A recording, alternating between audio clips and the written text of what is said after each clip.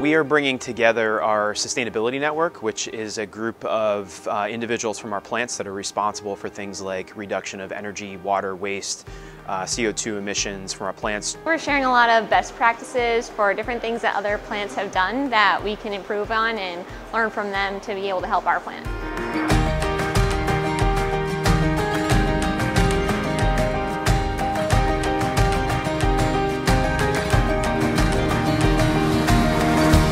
Such a diverse um, business portfolio and a huge footprint for our company, it's really important that we bring our people together. You have the, the fresh eyes approach where everyone has a different viewpoint, different experiences, and then inside these experiences, you can bring a lot of value to other people.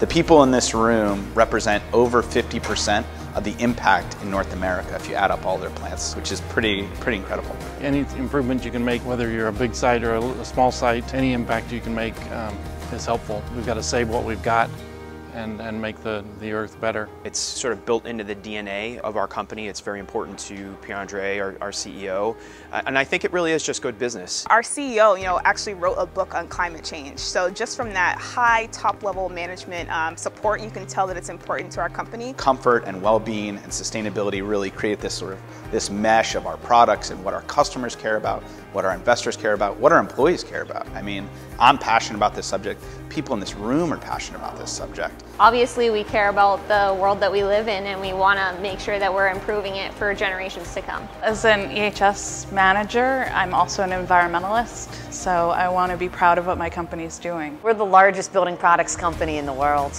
So we have a lot of impact that we can make on the built environment. Saint-Gobain has set ourselves really deep into the market to be able to make these changes. And if Saint-Gobain starts driving the changes, others will follow.